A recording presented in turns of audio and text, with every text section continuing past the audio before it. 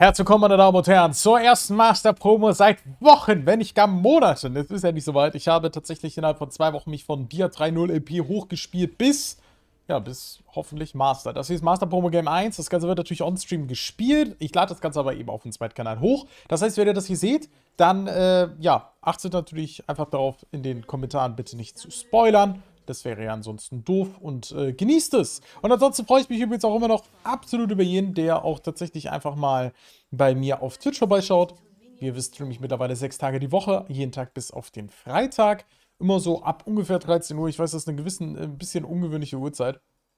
Aber das äh, ist für meinen Lebensrhythmus sehr schön. Und ansonsten gehen wir jetzt in den Full Tryhard rein. An dieser Stelle nochmal ein Shoutout an äh, Caps. Ähm, der mittlerweile äh, den, den Zweitkanal managt. Das heißt, dass hier jetzt so regelmäßig Videos kommen. Das liegt auch mitunter daran, dass mein Cutter eben jetzt auch den Zweitkanal betreut. Und seitdem kam es jetzt wirklich jeden Tag ein Video und wir hoffen, dass wir das genauso halten können. Das heißt, ich hoffe, ihr genießt das sehr. Ansonsten, äh, ich habe ja Nivea gepickt, hauptsächlich um auch den Nunu zu countern. Ne? Ähm, ist tatsächlich, finde ich, äh, sehr, sehr stark einfach mit der Wall. Da kannst du einfach den, den Schneeball blocken. Ähm, viel Potenzial. Und äh, ja, gegen Twisted Fate jetzt nicht unbedingt ein Matchup, wo man sagt, oh ja, ist aber ein klassisches Anivia-Matchup. Aber das muss es auch gar nicht sein. Sondern stattdessen äh, ist es halt eben ein Pick, den wir hauptsächlich mitnehmen, um die Nune zu erneuern. Äh, LeBlanc wäre sehr gut gewesen, war aber Bands. So, deswegen sind wir auf Anivia. Der will sein Special gerne aufsparen.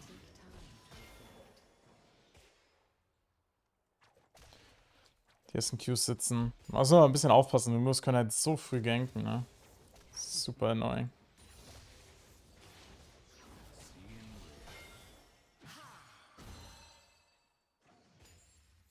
Krass.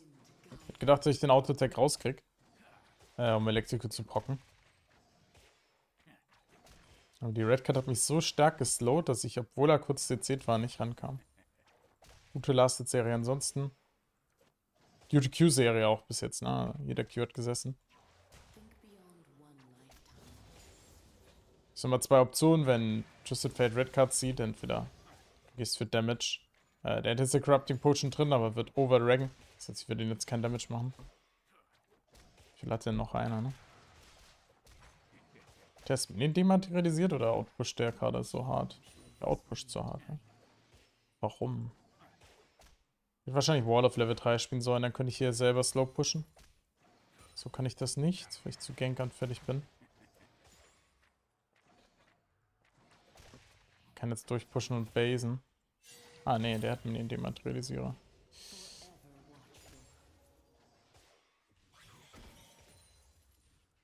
Lassen einen Minion durch. Können die nicht alle kriegen. Scheiße. Ach komm, ne?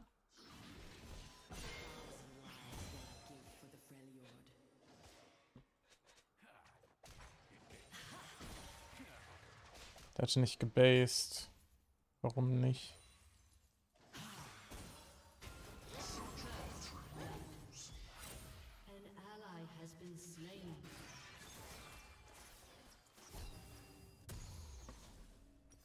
Okay, crazy.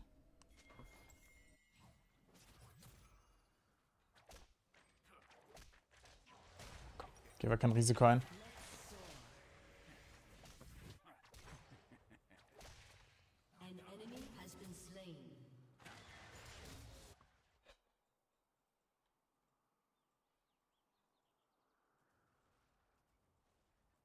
Äh, freezen jetzt hier an.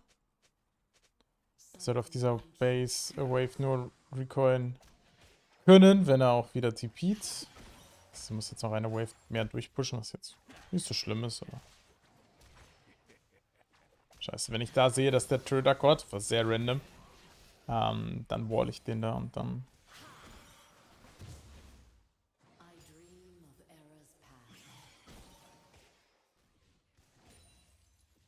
Ja, wenn mein TP war bad. So drüber nachdenke. Die mir sehr wenig.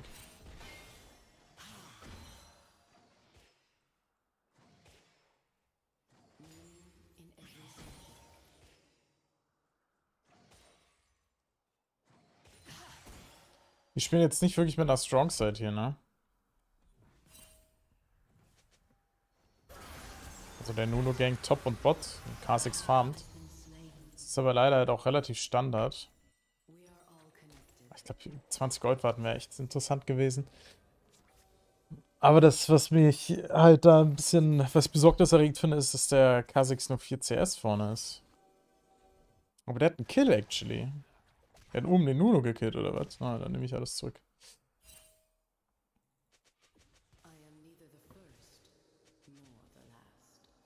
Da imagine, dass der K6 jetzt eher dead ist.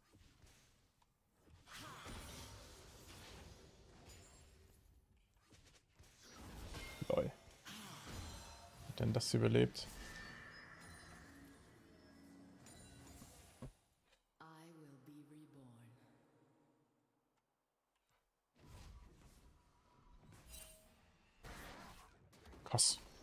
Wahrscheinlich Sorak einfach mit Speed reingejoggt.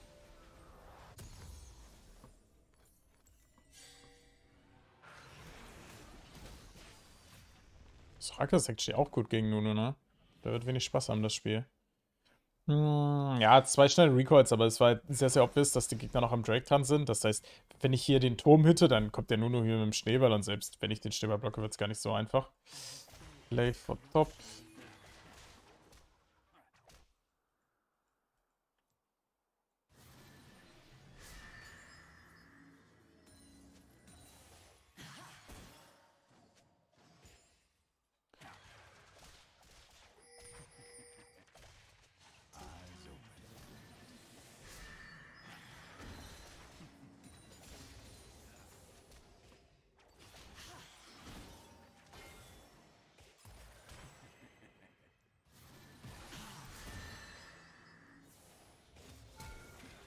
Nice.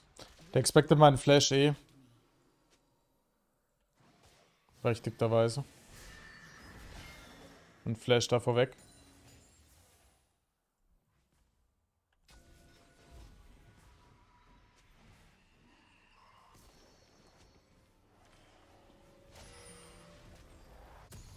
Hm, ja, äh, ich will die Loons gehen. I imagine. Ein Leandris-Bild-Game? Vielleicht, ne? Also Everfrost ist hier bad. Leandris could be fine.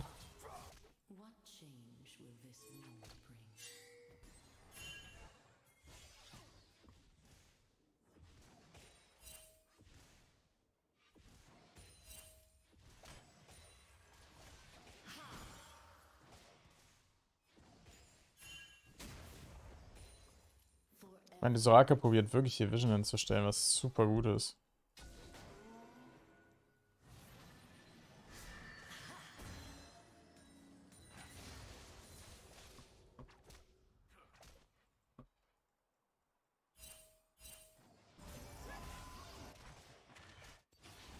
Seems RIP.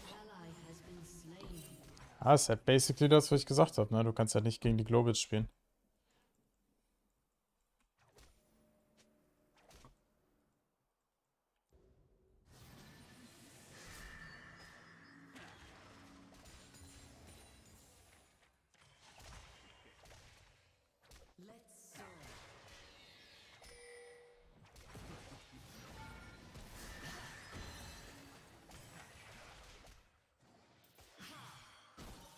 Trades sind so easy, aber auch halt Info, ne? Ansonsten darf ich die Wall nicht usen.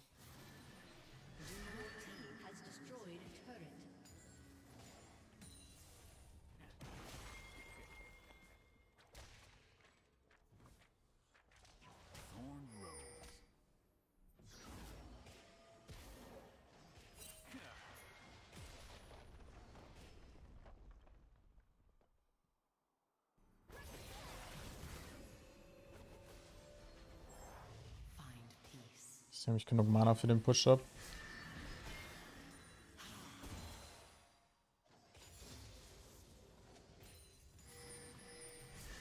Ziemlich knapp nicht, leider.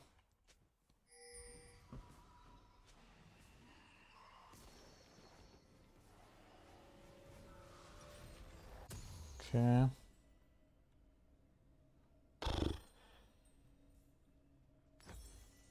Braucht Boots hier.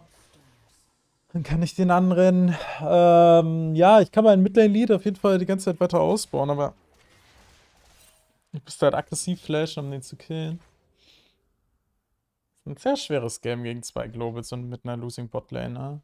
Schon echt schwierig. Die hätten halt diesen Early Trade nicht nehmen sollen und eben den Fight nicht, dann...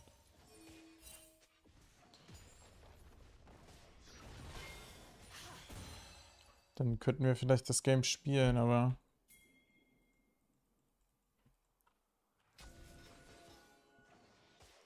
So fucking hard.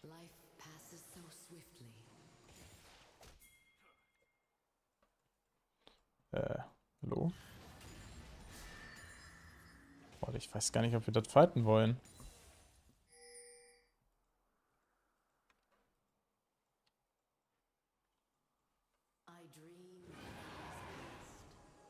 Schon mal wollen wir. Okay.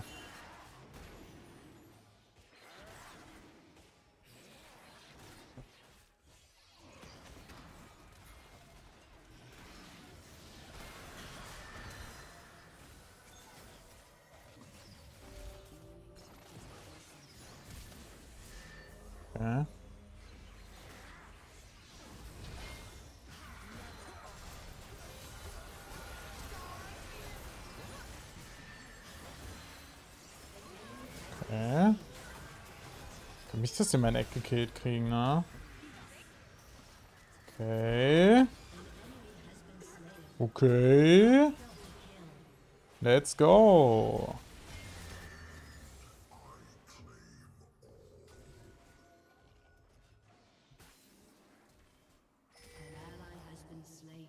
Ah, what?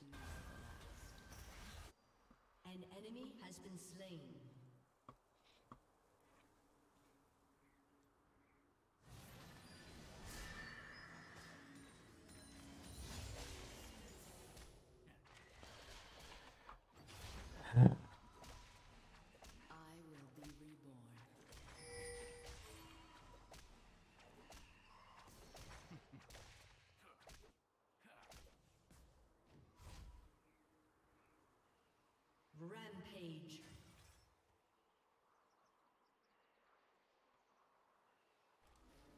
The cycle closes.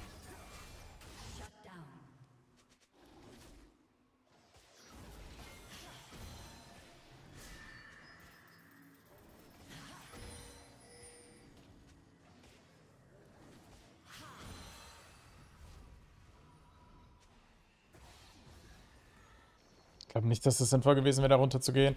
Äh, sorry, ich muss mich echt konzentrieren, weil ich die Plays nicht ganz verstehe, die hier passieren. Äh, und ich glaube, es liegt eher an mir, als daran, dass die Plays bad sind. Ich glaube, Team actually da eine, eine Menge sinnvolle Dinge getan hat. Aber ich finde es so weird. Also, hier da den Red Buff zu nehmen, ist natürlich ein bisschen weird, ne? Aber ich wusste, dass der ab ist und ich hatte, ich hatte mein Tempo eh schon gefuckt. Das heißt, es schien mir irgendwie...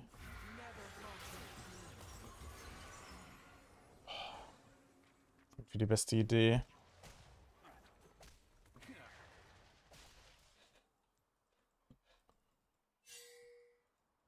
Ich meine, so verliert er halt XP und so, ne? Also, wenn ich den so rausforce, ist das immer fein, aber...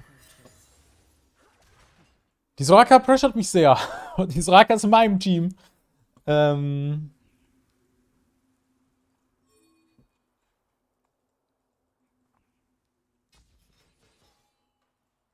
die läuft die ganze Zeit so fahr ab.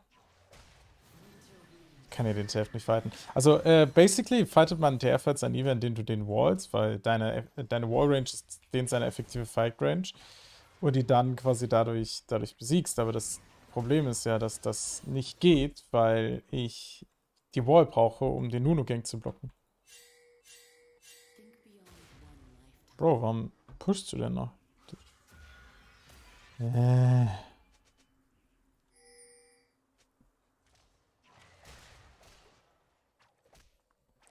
Uno Topside, Karma Mitte, die spielen jetzt so ein 2 vs 2.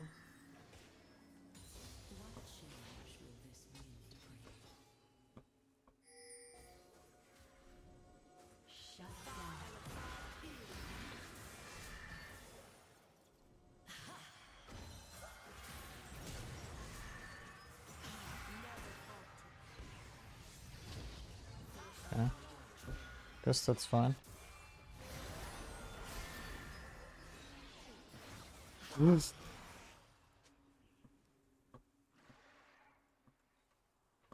Das war's nicht.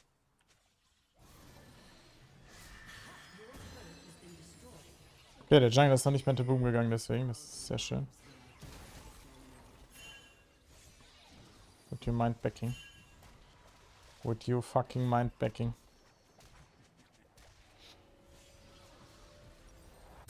Ist so nervig, ne? Aber wir, wir müssen halt hier recallen, weil wir sonst unser Tempo für Drake verkacken. Das heißt, der TF ist jetzt zu spät gerecallt. Okay, was habe ich da eben bekommen? Ich habe Flash bekommen. Ich bin mir ziemlich sicher, dass ich... Ich habe Ignite bekommen. Ich glaube, ich habe Flash bekommen. Ich habe TP bekommen. Nice. Das ist huge. Aber kein Herald Play. Ah, that's not good.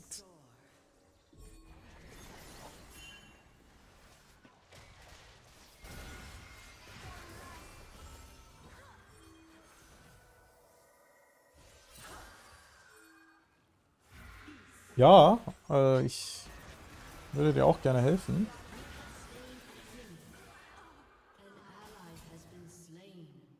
Not bad, ey. Dass die Soraka das so lange überlebt. war ein aggressives Gale Force, oder? Scheiße, ey, dass ich da so penne. Auf die Xayah-Tunnel. Na, da war Gale Force noch fucking hell. Hä? Ach so, dann wird die vom Morde eh getroffen. Mm. Makes sense.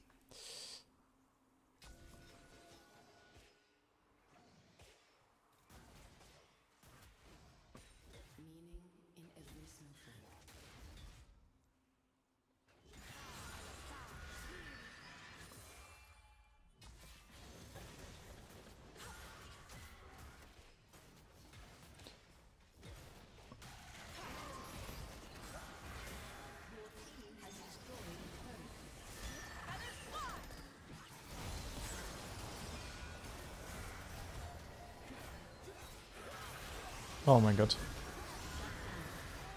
Der K6 ist ins Everfrost gelaufen.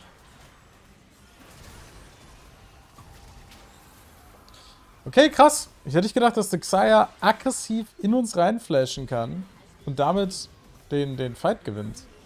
Okay, sie gewinnt den Fight nicht. Okay. I guess it's fine. Äh, ich glaube, die Wall war ziemlich gut, ne? Ähm... Ja, ich glaube, die Wall war ziemlich gut.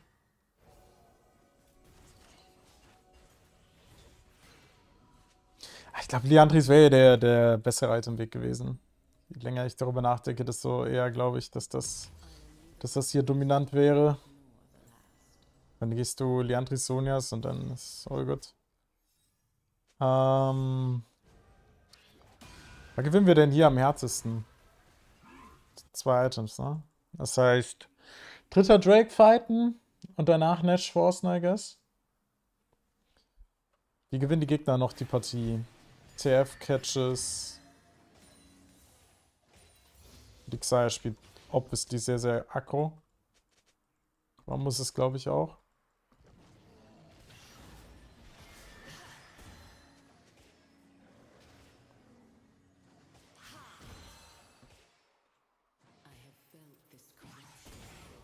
Das heißt, Xayah ist aber auch eine Win-Condition bei denen. Aber ich glaube, wenn ich so einen erst habe, macht die nichts mehr.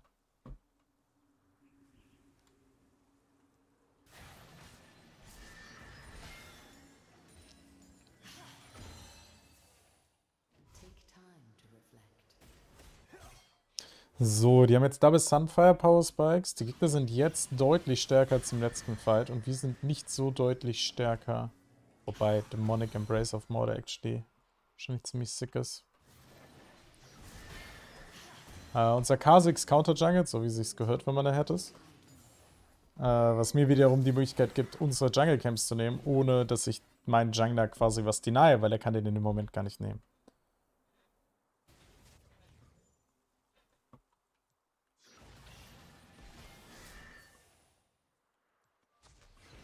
Nice.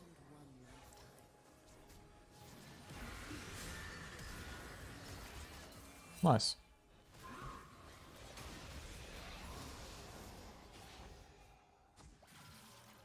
Guter Watch-In.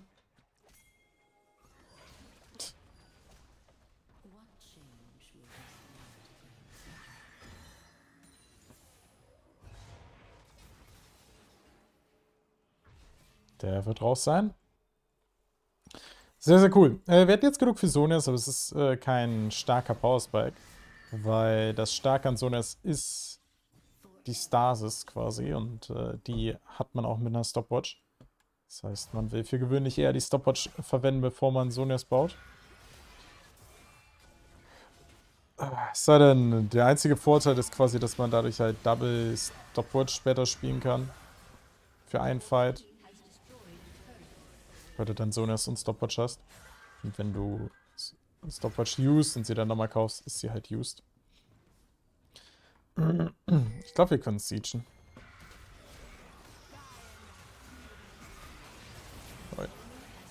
Mein Job ist nur, die Xayah zu nerven. Ne? Die soll keinen Spaß mehr im Game haben. Ich würde sagen, ich bin sehr nah dran. Ist halt so krass, so diese Low-Range ähm, ADCs wie Xayah strugglen extrem stark gegen sowas wie Anivia. GG, Leute! Ja, ich meine, ist ein 1-1-3-Game von mir, also Stats-wise. Ähm, ist ein Mordecai, der einfach das Game solo. Habe ich auch lange nicht mehr gesehen, muss ich sagen. War, glaube ich, ein, ein, solides Game von mir, ne? Aber jetzt auch nichts. Also, ich glaube, du kannst die Midlaner tauschen und es ist trotzdem äh, immer noch. Äh, dann, dann gewinnt der Twisted Fater die Partie statt ich. Ja, sieht man auch im Damage. Aber ich bin trotzdem eigentlich recht happy. GGWP, das war Numero Uno. Vincent, danke dir für fünf äh, Subs. Und äh, das zweite kommt dann die Tage, ne? Haut rein.